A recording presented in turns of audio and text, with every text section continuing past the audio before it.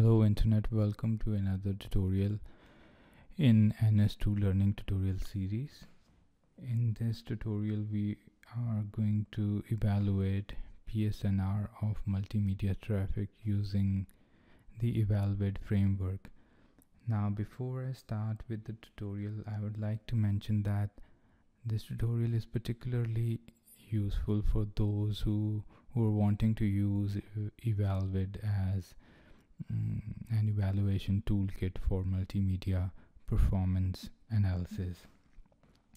Now I assume that you know the basic structure of Evalvid and just briefly mentioning that Evalvid gives you a host of uh, exe files that you can use to calculate frame loss or packet loss and average PSNR of multimedia traffic. For example, uh, I have this simulation folder here and Evalvid is integrated in NS2. Uh, I've, got average PSNR, ETMP4, FFmpeg. All these files, these executable files are provided in the Evalvid framework. So before you attempt to perform these experiments, I would like you to uh, read thoroughly the paper on Evalvid and and uh, download this package from uh, Smallko's website. Now, in case you want to calculate average PSNR uh, as as mentioned in the Smallko's website or as given in the Smallko's package, uh, I'm going to illustrate the steps now the first step is you would need to run the simulation file.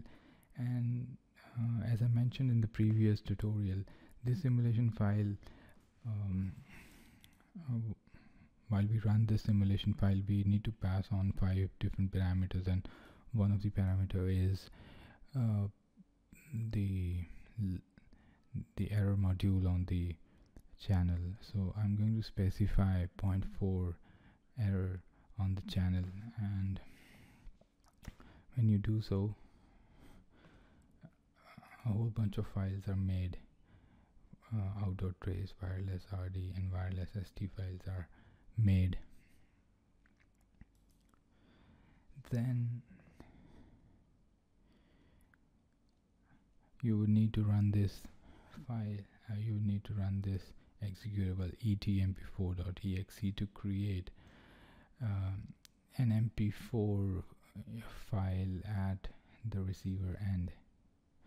And it is going to take uh, wireless underscore SD which is the sender trace file wireless underscore RD which is the receiver trace file and foreman qcif.st which is the statistical file the, we made in the last tutorial using the awk command and of course it'll need the input file and it'll produce this file. And then you could run ffmpeg.exe now this executable is going to create a YUV file. Now we are going to compare this YUV file with the input YUV file to calculate the average PSNR. So before we actually run the average PSNR command, we need to run these two commands.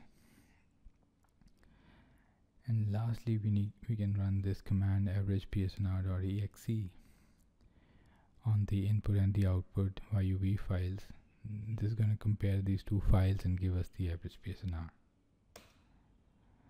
okay so the average PSNR comes out to be 26.60 now if I change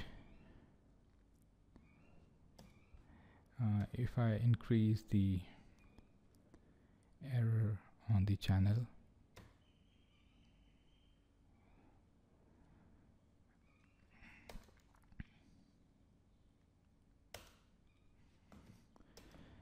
then it'll give me an average PSNR which is which is quite less. So that is how you can calculate average PSNR on this scenario. Uh, I've already mentioned uh, and explained this TCL file in my previous tutorial and all these parameters are passed on uh, while runtime. You could change the parameters here and see how they affect the PSNR and I hope this tutorial was helpful. This was a quick one but I wanted to cover uh, the steps um, to calculate PSNR using evalvid and uh, I'll cover the theory of evalvid in some other tutorial. And uh, that's about it. As always thank you so much for watching this video. You all have a very very good day